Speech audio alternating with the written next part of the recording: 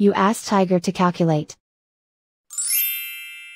This deals with long addition. The final result is 4872.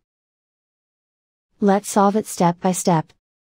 Rewrite the numbers from top to bottom, aligned by their place values, add up the digits in each column, from right to left.